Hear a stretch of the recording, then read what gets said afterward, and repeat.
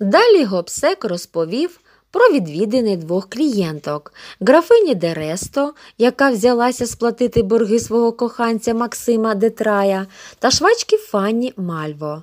Ранкові візити лихваря були невдалими. Графиня, що повернулася з балу о третій годині ранку, ще спала, а Фанні, яка до ранку працювала, уже пішла з дому. За кілька годин гопсек знову спробував з ними зустрітися. Рівно о півдні старий був у вітальні графині Дересто. Хай тепер найдуть, ото паніка буде. Не кінчаться сьогодні уроки. Аж до завтра вчитимуться хи-хи. Без дзвоника вони, як без рук. У навчальному процесі дзвоник основна річ, сказав я, виймаючи з під сорочки шкільне калатало. Це ти гарно придумав, молоточок, мовив ява і взяв у мене з рук дзвоника. Я відчував, що йому було трохи прикро, що то не він придумав, він звик усе сам придумувати. О, знаєш що? стрепенувся він раптом. Ми його Собакевичу на шию привісимо, га? Класнючо, сказав я. Хоч і не второпав, для чого це треба, але я був би останньою свинею, аби не сказав, що це класнючо. Він же мене хвалив. У тебе нема якоїсь шворки або що? спитав ява. Кинувся я по кишенях. Нема. От чорт, і в мене нема. Слухай, а давай пасок. Отаке, а штани. Тож не назовсім рукою подержиш. Якби в мене були на паску, а не на шлейці, я б хіба.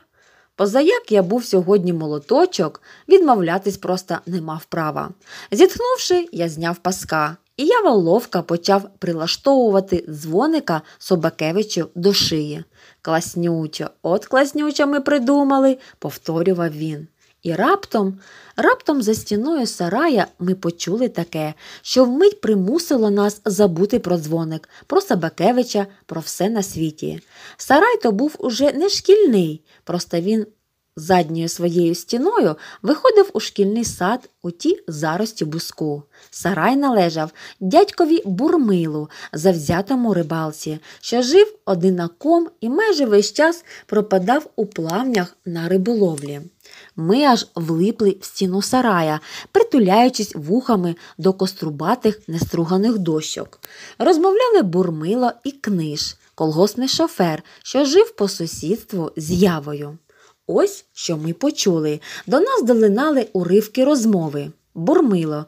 Воно то, конечно, так, але, книж. Зате подаруночок матимеш від німців, хіба ж такий, на 10 років буде. Бурмило, ги-ги, книж. Вермахт щедрий, бурмило. А що ж, конечно, книж. Має бути 20 залізних, точно, а як... а якість бронебійна, раз і нету. Будьмо. Чути дзенькіт склянок, мабуть, книж і бурмило випивають. Книж купимо в Києві, що треба, і за діло. Бурмило. Сам не можеш, книж. Якби я мав час і якби плавав так, як ти, я б взагалі без тебе обійшовся. Бурмило щось прохарамаркав, ми не розібрали ані слова. Книж роздратовано. А хрест навхрест, треба хапати момент. А ти, це ж так удачно, що мене посилають з тією екскурсією шкільною. Бурмило, ну гаразд, завербував книж, тільки ж нікому, нікому, жодній живій душі. Бо як довідаються, бурмило, щоб я Бога не бачив, що я маленький, це ж таке діло. Книж, ну до завтра. І все. Запанувала тиша, певно, книж і бурмило вийшли з сарая. Ми перезирнулися. Не знаю, які були очі в мене, але явині очі горіли і світилися, як у хорта. А що, хотів би я глянути на ваші очі, якби ви почули таку розмову. Га, роззявив рота я. Га, роззявив рота ява але нічого більше вимовити ми не встигли, бо в цей час почувся знайомий заливистий голос шкільного дзвоника. Ми так і завмерли з роззявленими ротами. Захопившись таємничою розмовою, ми зовсім не помітили, що Собакевич кудись зник. І от, навкарачках, по собачому, ми швидко подряпалися крізь гущину і вистромили з кущів голови. Попід вікнами школи, ганяючись за куркою, гасав по подвір'ю Собакевич. Метляючись, на шиї в нього деренчав, заливався дзвоник. Думаючи, що вже перерва, горохом висипали з класів учні. З вікон здивовано, позираючи на годинника, виглядали вчителі. На ганку з'явилася Галина Сидорівна. Хуліганство, неподобство, порушення навчального процесу, загукала вона. З-за рогу вибігла баба Маруся. Вгледівши Собакевича, вдарила руками об поли, кинулася за ним одбирати дзвоник. Собакевич навтіки. І куди ж ви думаєте? До нас у кущі. Ми з явою вмить розвернулись і так само навкарачках чкурнули назад у гущавину до сарая. Причому, якщо ява рачкував нормально на чотирьох, то я на трьох. Як собача з перебитою лапою, мені ж доводилось однією рукою піддержувати штани. Ми притиснулися до стіни сарая. Далі тікати було нікуди.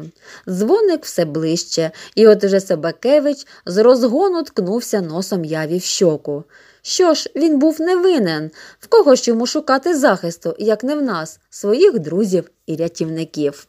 За якусь мить кущі над нами розчахнулися, і ми побачили розчервонілу бабу Марусю. Ага, переможно. вигукнула вона. От хто це все влаштував. З-за баби Марусиної голови з'явилась голова Галини Сидорівни. Крижаним голосом Галина Сидорівна говорить, мов сікачем рубає. Так, ясно, на екскурсію до Києва завтра вони не їдуть.